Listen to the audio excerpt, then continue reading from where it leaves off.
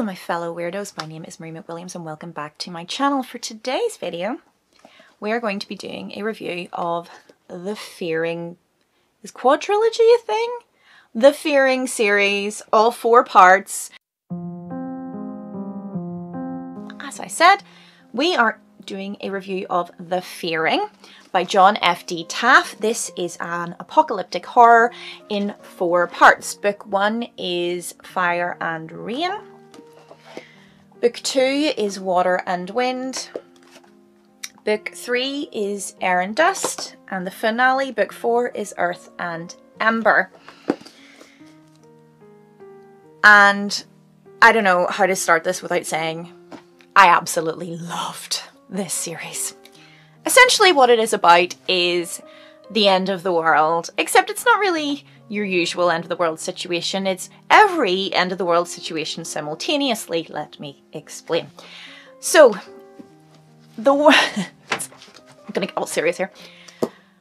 If you're familiar with Carl Jung, he is a psychoanalyst um, and is he Austrian? I don't know, from back in the day, but he came up with the theory of collective unconscious. Basically the idea that all of our fears and our loves and everything like that all end up coming together in this big collective unconscious. And if you imagine like a big massive bowl filling up as society has evolved right back from cavemen till today. The problem with that is that the vessel containing our fear is now full. Our fear started off quite basic when we were cavemen it was about not being prey, essentially, not freezing to death, not starving to death. Those were our fears. But as we have evolved, our fears have become more complex, more sort of um, existential, and the bowl has reached breaking point. If it doesn't empty to allow it to refill again, what will happen is the mechanism with which our collective unconscious feeds into it, i.e., the world, is going to be destroyed forever. So, all of humanity's fears that have ever existed from the beginning of time are suddenly dumped simultaneously on the earth, all in one go, killing pretty much everybody. Intrigued? Yeah, so good, isn't it? It's a good premise. So it starts off with a kind of like wider fears. So you've got things that millions of people would share collectively as a fear in common, such as tornadoes, hurricanes, floods, um, volcanoes, nuclear war, that kind of thing, things that we're all collectively worried about.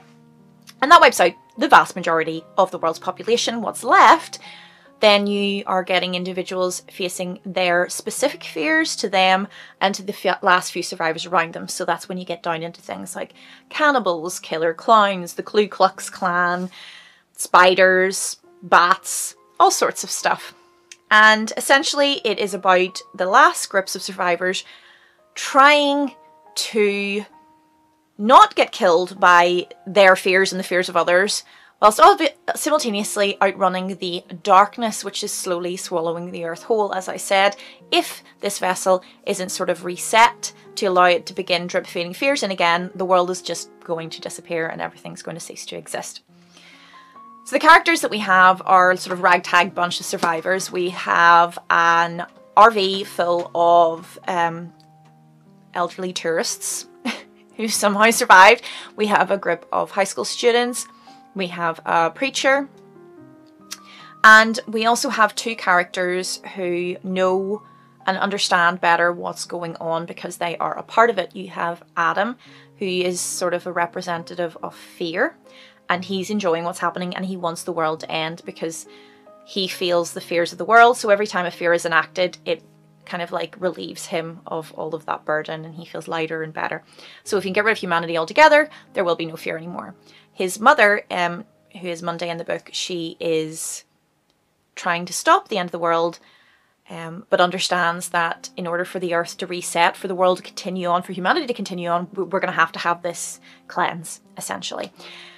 So they are coming together and the survivors are all coming along with them and we're coming to this meeting point for this big finale. What do I think of the book? Well, I loved it.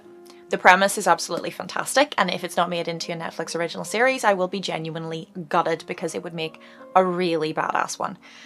I think that the characters were all incredibly well written and relatable. You're dealing with quite a massive and vast topic here. You've got a lot of people to try to kind of juggle amongst your characters. And it would be very easy to get lost in that for characters to just sort of slip into the background to become two dimensional. But Taff is really, really good at giving each character their own moments, their own emotional crises and issues, and dealing with their own individual fears without it overshadowing anybody else um, or the overall theme. Um, I love the theme, the, the kind of underlying theme of it, which is the idea that um, our anxiety is crippling us uh, individually and as, as a society. We've become fearful not just of like actual threats but also potential and unrealized threats and I can relate to that very well because I have generalized anxiety disorder and I understand what it's like to have that kind of flight and fight or flight response when there isn't actually a threat so I find that particularly interesting. I thought it was one of those types of books that like grips you from literally the first page and will not let you go until the end. I mean every time I read about, I just wanted to find out what happened, who survived, who lived, what happens at the end, what is this all about. I just loved it was a constant, constant action, constant pace, gathering, gathering, gathering until this big climax, which was well worth at the end as well. Total payoff. I hate sometimes when things are a bit eh, anticlimactic at the end, but this was really good.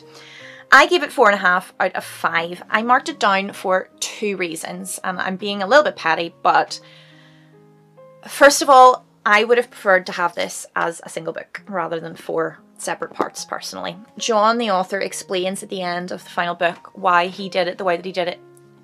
And he said that this is basically his kind of um, big, vast novel. Um, and when he thought back to all those kind of big epic novels from when he was a kid, for example, like Lord of the Rings, they were in parts. And he kind of wanted to do that to sort of create that tension and that pace and that need in the audience to find out what happens next. And that worked. But I would have really loved to have the opportunity to just sit down and binge all four. The other reason is because, again, I'm being kind of petty, but it essentially boils down to the fact that if you don't live in the sort of middle section of America, well, you're never going to make it, you're going to die.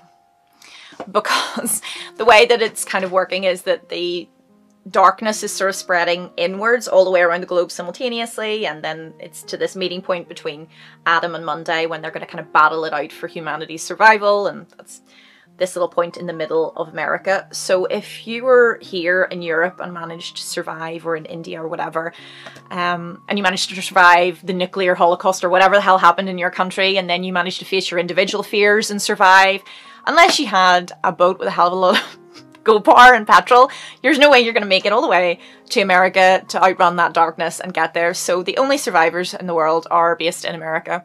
And I kind of got that thing where I don't know if anybody else feels like this, but does anyone else who's not from America, whenever they're watching like big, like apocalyptic movies or science fiction movies, always get a little bit like, why does everything happen in America? Like aliens only ever land in America. Do you know what I mean? It's like, it's like, ugh, there's other countries. So I don't know. I kind of like read it from my personal perspective and was like, oh, there's no way I was going to make it. Um, as if this could really happen. But I think that's testament to his writing as well. I think if my complaints boil down to the fact that I couldn't read it all at once and I really wanted to, and um, when I was imagining it happening to me, I didn't think I'd be able to survive. it sounds like John has done a really great job with the series as a whole. So yes, I will put a link down below to his website and to Grey Matter Press, which is the company that publishes them. Thank you to both of them to sending them to me um, to read and review. If you haven't already subscribed, please do so immediately. If you're a fan of horror, if you're a fan of apocalyptic stuff, if you're a fan of thrillers, read these. Have you read them yourself? Let me know in the comments down below. And don't forget to hit that bell button so you get a notification every time I post new content. But for now, that's me. Bye.